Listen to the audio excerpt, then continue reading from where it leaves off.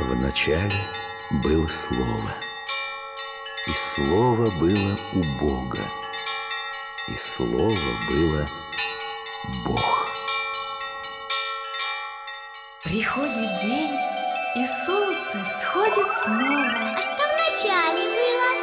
Было слово, было доброе слово, и свет появился из тьмы.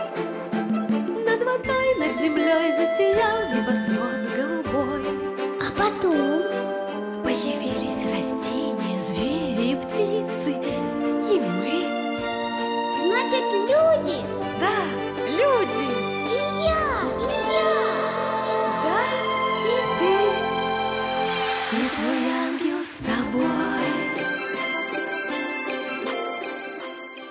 Здравствуйте, дорогие друзья! Мы продолжаем чтение книги писателя Ивана Сергеевича Шмелева «На морском берегу». Напоминаю, что повествование ведется от лица воспитателя семилетнего Жоржика. Отец мальчика умер, а маму доктора отправили на лечение за границу. Она серьезно больна. Заботу о ребенке взял на себя его дядя, капитан в отставке. На лето дядя привез Жоржика и его воспитателя в свое небольшое имение на Черноморском побережье Кавказа. Здесь мальчик познакомился с одиноким стариком, греком Димитраки. Прогулки к норе Димитраки прочно вошли в наш обиход. Иногда мы не заставали хозяина. Он по временам уходил в местечко с товаром. И тогда занимались черепахой, которая быстро признала и нас, и выходила из зарослей на свою кличку. Но когда Димитраки был дома, начинался очень интересный разговор.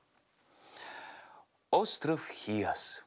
Мы многое узнали о нем. Старик описывал свою родину так любовно, знакомил нас с такими подробностями, что казалось, мы уже побывали сами в его деревушке, посетили пещеры на горах, ловили с ним кораллы и губки, омаров и осьминогов.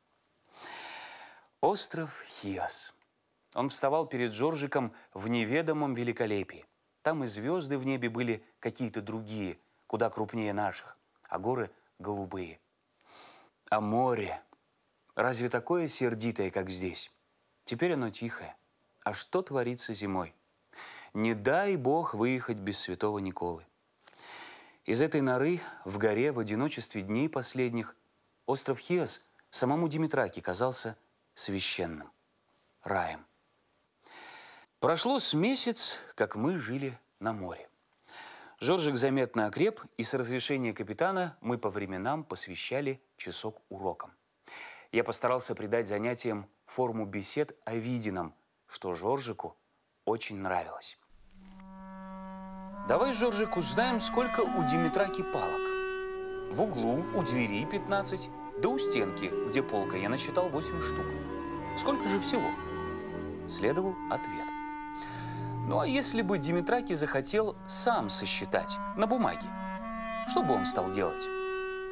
Жоржик охотно изображал, что стал бы делать Димитраки. Ну а теперь представим себе, что Димитраки узнает, что на острове Хиас отыскался какой-то его родственник, и зовет его этот родственник жить к себе. Узнает из письма. Как ты думаешь, какое бы письмо мог написать ему родственник? Вместе с Жоржиком мы начинали составлять письмо. И он с большой охотой, как он не любил писать, старался красиво выводить буквы. А уроки географии. Тут уже не обходилось без путешествий по всем морям. Вытаскивалась карта, и мы с таким удовольствием разыскивали на ней и остров Хиос, и Каир, где жила мамочка, и наше побережье. Иногда за уроком Жоржик проявлял необычайную рассеянность. Это случалось обыкновенно в дни прихода почты. Он с нетерпением ожидал писем от мамочки. Тогда мы кончали урок и шли к морю. Помню один грустный урок. Мы только приготовились писать письмо Димитраке от дяди Миши, будто Жоржик заставил капитана взять Димитраки садовником. Значит, начинаем. Милый Димитраки.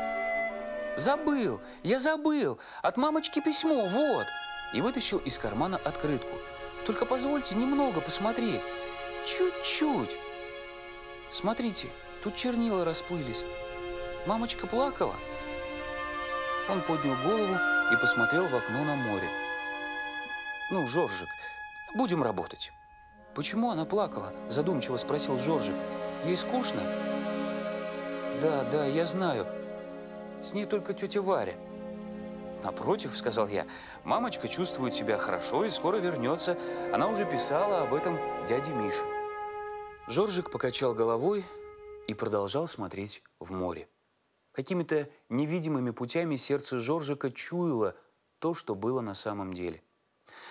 Достаточно было капитану получить неутешительные известия, он никогда не читал их Жоржику, чтобы содержание их сейчас же не передалось маленькому сердцу. Так и в этот раз. Я знал, что капитан получил тревожное письмо. Писала тетя Варя, что здоровье больной ухудшается с каждым днем. Жоржик смотрел на открытку, разглядывая пятнышко. Ну, продолжаем. Милый Димитраки, я не... не... не могу. Он поднял на меня глаза, в них стояли слезы. О чем ты? Его тонкое личико передернулось, скривились губы. Он уронил голову на руки и затрясся. Жоржи, ну, милый мальчик, Мама, мамочка. Ну что, мамочка, она гуляет на солнышке. Скоро приедет к нам, сказал я бодро. Мы ей покажем Димитраки, его нору. Ты только представь, как же ей будет интересно. Он не поднимал головы, затих. Эх, говорю, не написать ли нам ей? О чем? А вот как поедет назад, попросим, чтобы на Хиос заехала, а? Жоржик поднял голову. А разве она мимо поедет? Непременно мимо. Попросим, может быть, она привезет что оттуда. Горсть земли, сказал он оживленно. Помните, вы читали мне, что привозят с родины горсть земли. Вот и прекрасно. Она, конечно, привезет.